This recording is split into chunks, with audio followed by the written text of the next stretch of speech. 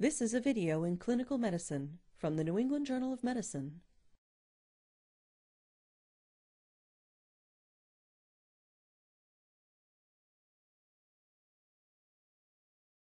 This video will demonstrate safe and successful methods of performing lumbar puncture. Lumbar puncture is indicated for both diagnostic and therapeutic purposes. Also, the administration of spinal and epidural anesthesia involves the use, essentially, of this same technique. Analysis of cerebrospinal fluid may be helpful in the diagnosis of infectious processes such as meningitis, inflammatory diseases such as multiple sclerosis, cancers such as leukemia, and metabolic processes. Therapeutically, lumbar puncture allows for the intrathecal administration of chemotherapeutic agents and antibiotics. There are specific contraindications to lumbar puncture. The condition of patients with cardiorespiratory compromise may worsen as a consequence of the position they need to assume for lumbar puncture. The procedure should also be avoided in patients with signs of cerebral herniation, incipient herniation, or increased intracranial pressure, and in those with focal neurologic signs. In such patients, cranial CT should be performed before lumbar puncture, although CT may not reveal signs of increased intracranial pressure. Finally, there is an increased risk of a spinal hematoma if a coagulopathy is present or if the patient is receiving anticoagulant therapy. Patients who have previously undergone lumbar surgery should be referred to an interventional radiologist. Before performing the lumbar puncture, you will need a commercially available tray containing the necessary supplies, a spinal needle with a stylet, equipment for skin preparation, drapes, collection tubes, and in some cases a manometer. Typically, a 20 to 22 gauge needle is used, with the length ranging from 1.5 inches or 3.8 centimeters for infants to 2.5 inches or 6.3 centimeters for children and 3.5 inches or 8.9 centimeters for adults. You will also need sterile gloves. Before you begin, you should explain the procedure along with potential risks and benefits to the patient and obtain informed consent from the patient or his or her parent or guardian. After obtaining appropriate patient consent, the patient is positioned. Either the lateral recumbent position or a sitting position can be used. The lateral recumbent position is preferred to obtain an accurate opening pressure and to reduce the risk of post-puncture headache. Instruct the patient to assume a fetal position or to arch like a cat with the back flexed. This position widens the gap between the spinous processes.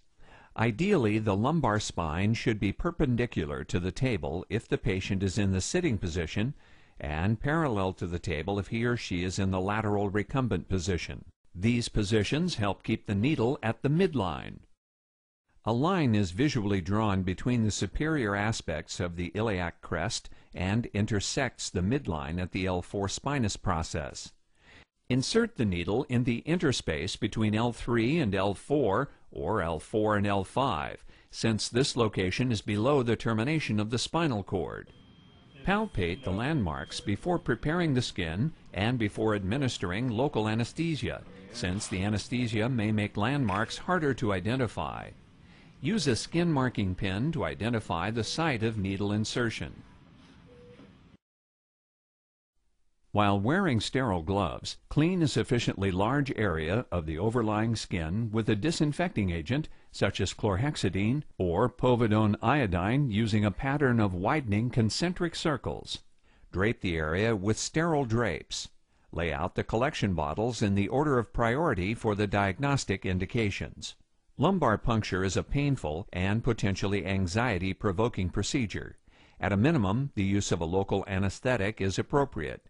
Sedation or systemic anesthesia may be required under some circumstances. You can apply anesthetic cream topically before preparing the skin. After preparing the skin, you can inject local anesthetics subcutaneously.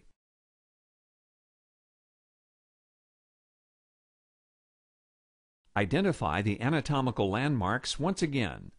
and insert the needle, with stylet firmly in place, in the midline at the superior aspect of the inferior spinous process, directing it at an angle of approximately 15 degrees, as if aiming at the patient's umbilicus. Either use a pencil-tip needle or ensure that the bevel of the needle is in the sagittal plane in order to spread rather than cut the fibers of the dural sac. These fibers run parallel to the spinal axis. The use of this needle position should theoretically decrease the leakage of cerebrospinal fluid.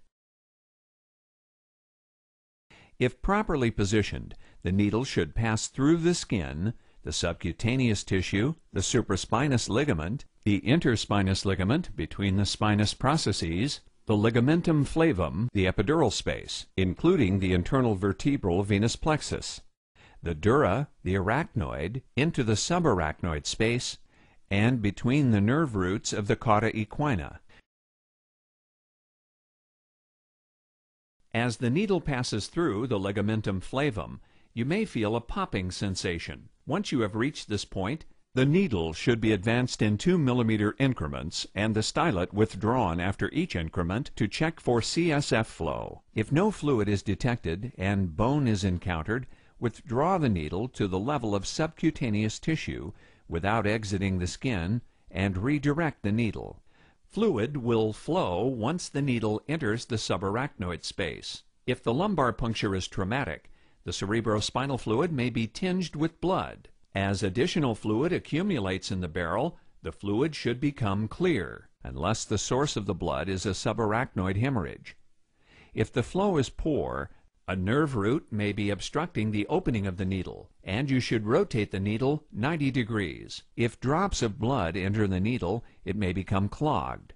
In this case, you should obtain a new needle and enter the site through a different interspace. For you to obtain an opening cerebrospinal pressure, the patient must be in the lateral recumbent position. Use a flexible connector and attach a manometer to the hub of the spinal needle. After waiting for the column of fluid to rise and possibly seeing pulsation from cardiac or respiratory motion, you may take a measurement. If the cerebral spinal fluid pressure exceeds 25 centimeters of water, you should closely monitor the patient for signs of herniation and determine the cause of the patient's elevated intracranial pressure. You must allow cerebrospinal fluid to drip into the collection tubes. Never aspirate cerebrospinal fluid. Even a small amount of negative pressure can precipitate a hemorrhage. The amount of fluid collected should be limited to the smallest volume necessary for testing. Typically, 3 to 4 milliliters of fluid is sufficient for routine indications. By turning the stopcock toward the patient, fluid in the manometer may be collected. After collecting an adequate specimen, replace the stylet and remove the needle. Although traditionally patients have been told to lie flat for several hours after a lumbar puncture, there is no evidence that this precaution decreases the risk of a cerebrospinal fluid leak, post-puncture headache, or other complications. All sharps should be properly disposed of in appropriate sharps containers or needle lock devices to help minimize the risk of needle stick injury. Obese patients may represent a challenge due to difficulty in identifying landmarks.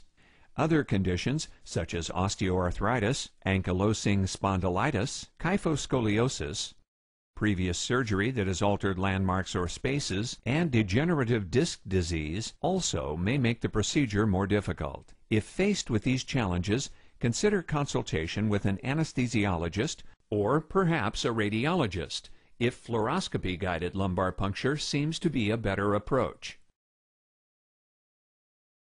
Lumbar puncture has numerous possible complications, including cerebellar herniation, referred pain, headache, bleeding, infection, the formation of a subarachnoid epidermal cyst, and leakage of spinal fluid. You can avoid many of these complications by conducting a careful assessment of the patient before the procedure including a thorough neurologic examination and retinoscopy, and monitoring the patient throughout the procedure. A subarachnoid epidermal cyst occurs when a skin plug is introduced into the subarachnoid space. The standard use of a needle with a stylet will avoid this complication. Leakage of spinal fluid can occur at the puncture site.